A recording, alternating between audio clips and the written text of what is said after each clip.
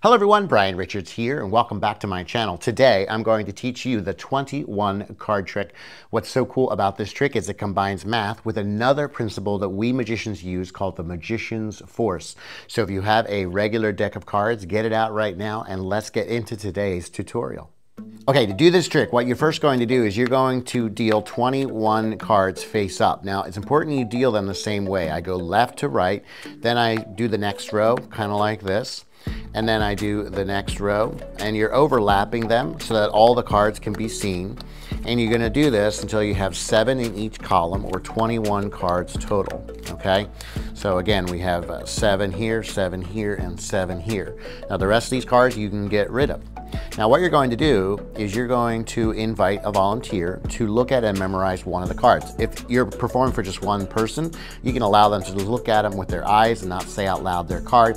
But if you're performing this for a bunch of people, maybe you turn around and you invite them to just point to a card quietly so that everyone can see what the chosen card is. So let's say they choose this card, the seven of spades.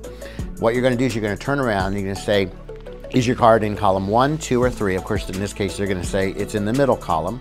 And then what you got to do is you got to gather the cards and you want to put their pile in between the other two, keeping them in the same order. So you just kind of put their pile in between the other two piles. Then you're going to turn this face down and you're going to deal from the top the same way. Again, you're going to go one, two, three across. Then you're going to do the next row and you're going to do this until you get to the end. And obviously, the quicker you do this, probably the better. You don't want to lose your audience. Uh, but then you get to the end, and again, you're going to ask them a second time is it in one, two, or three? Here's the seven of spades, so they're going to say it's in the middle again. It could be in one of these end piles. In this case, it just happened to be in the middle again. You're going to again put their pile in between the other two. You could do this one last time dealing the 21 cards out exactly the same way, one, two, three across. You're always doing it that way. And there's the seven of spades there. You're gonna go all the way through and you're gonna ask them one last time, is it in one, two, or three? In this case, they're gonna say it's in three. And again, you're gonna put that pile in between the other two piles. Now, after you've done this three times, what's amazing is it will put their card into the 11th position from the top of the deck. I'll show you what I mean. One, two, three, four, five, six, seven, eight, nine, 10, 11. See, there it is, seven of spades. Now, obviously you could just count down and reveal their card, but to me, one of the coolest ways to reveal their card for this trick is to do what's called a magician's force. And what you're going to do is you're going to make little piles of three. But as you, as you make the piles of three, you want to remember where the 11th card goes.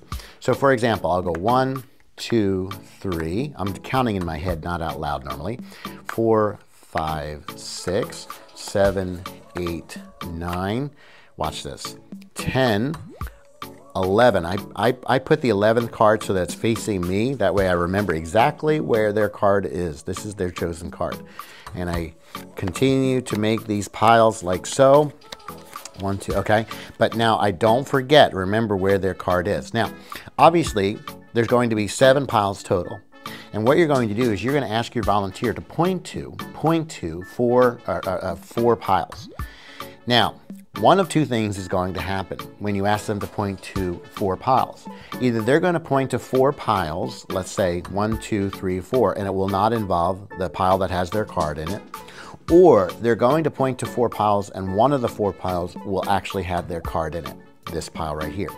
So if they point to four piles that do not involve their card, you get rid of the, the, piles that they point to.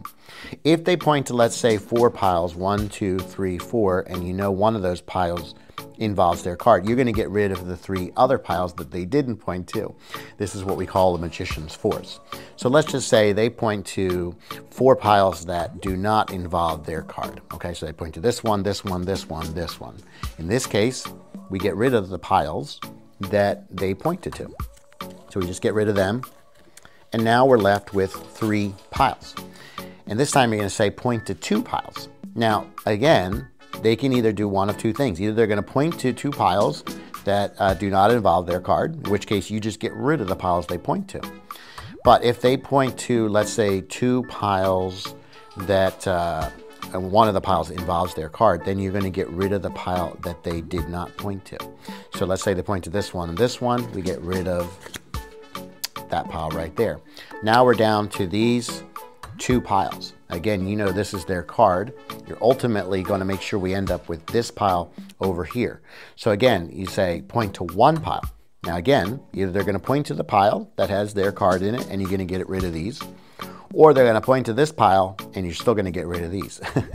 so let's say they point to this one, you get rid of these. Trust me, they have no idea what's going on. They just think we're narrowing down the cards.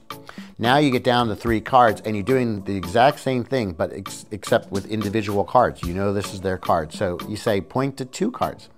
Now either they're going to point to these two, which is the best case scenario, and you just get rid of them and leaving this card behind. But if let's say they point to this one and this one, you're going to get rid of this one. And then you say, now we're down to two, point to one. Again, if they point to the card that you know is their card, you get rid of this one. And if they point to the card that you know is not their card, uh, you get rid of it anyway. Okay, so now you're down to one, and it seems like they completely narrowed it down themselves and ultimately ended up choosing this one card. And to their amazement, it is boom, their card, the seven of spades in this case. Pretty cool, right? And that trick is so easy to perform. And if you like that trick, be sure to hit like and do subscribe to my channel. That will help me to make more videos just like this. But I have to go and muck out my lake. And trust me, that job is just as disturbing as it sounds.